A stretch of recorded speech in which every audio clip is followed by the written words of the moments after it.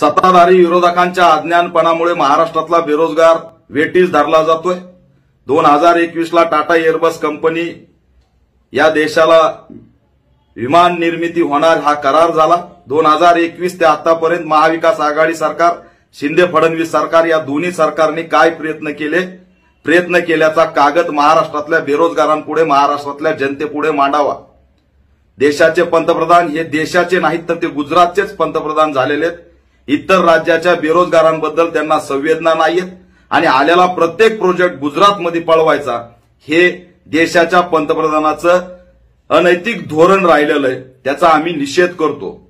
देवेंद्र फडणवीस यांना माझं आव्हान आहे की आपण भारतीय जनता पार्टीचं महाराष्ट्रात नेतृत्व करताय. कोणत्या आधारावरती एअरबस हा प्रोजेक्ट नागपूरला आणणार याचा आपण घोषणा केली याचं उत्तर महाराष्ट्राला द्यावं. कोणत्या आधारावरती हा प्रोजेक्ट महाराष्ट्रात येणार हे उदय सामंत यांनी जाहीर करावं. जर अहमदाबाद मिर- मिररनी न्यूज छापली चार ऑगस्ट दोन हजार बावीसला की हा प्रोजेक्ट गुजरातमध्ये येतोय जागा फिक्स झालेली आहे.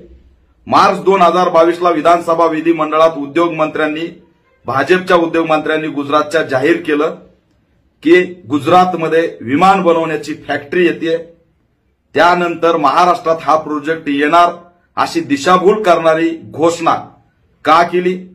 एकनाथ शिंदे सरकारला बदनाम करण्यासाठी भारतीय जनता पार्टीने हे केलं का याचं उत्तर द्यावं? एकनाथ शिंदे सरकारला महाराष्ट्रामध्ये विलन करण्याचं काम भारतीय जनता पार्टी करत आहे का याचं उत्तर सुद्धा महाराष्ट्राला देण्यात यावं?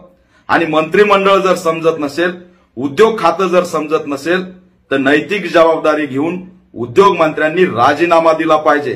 कारण अज्ञानपणामुळे महाराष्ट्रातला बेरोजगार वेटीस धरला जातोय आणि तो आत्महत्याच्या उंबरट्यावरती उभा आहे.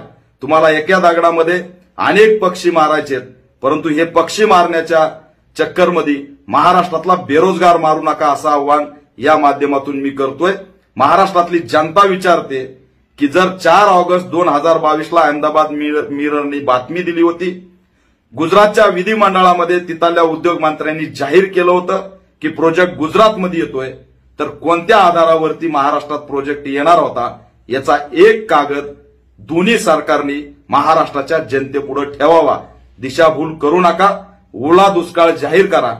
कंपनी गुजरातमधून महाराष्ट्रात आणणं तुमच्या बसची बात नाही कारण गुजरातचे गुलाम झालेल्यांकडून महाराष्ट्राला अपेक्षा नाही.